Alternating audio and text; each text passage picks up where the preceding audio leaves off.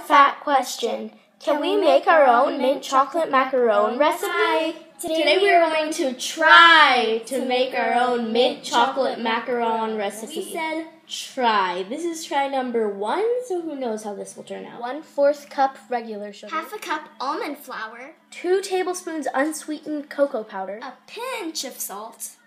And two egg whites. For the filling, you'll need any homemade mint frosting recipe. This is ours right here.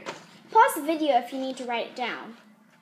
And now for the tools. The tools you will need are cookie sheets, Parchment paper, a sifter, any mixer, but we're using a KitchenAid stand mixer, two large mixing bowls, and Wilton piping bags. To make, the, dough, we need to make a meringue. To make a meringue, you need to mix your egg whites until frothy.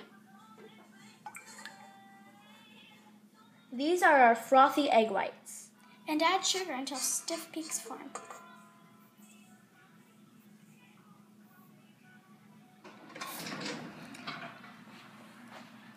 Those are stiff peaks. Now we sift the powdered sugar.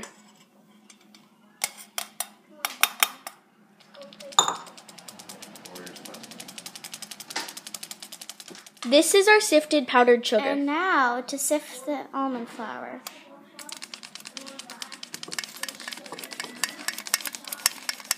And now the cocoa powder.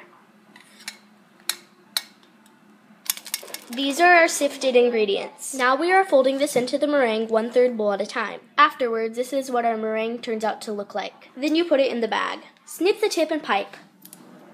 After piping, let them sit for 30 to 40 minutes so they can develop a skin.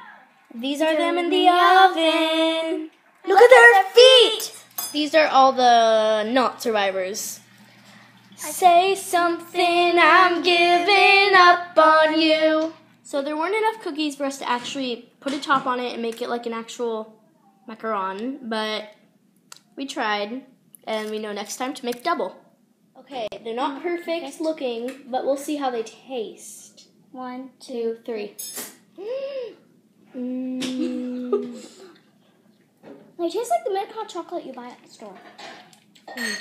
Actually, I haven't had that before. Huh? No. But it's good anyway. Mm. Eat all the frosting. hey, that's my brother.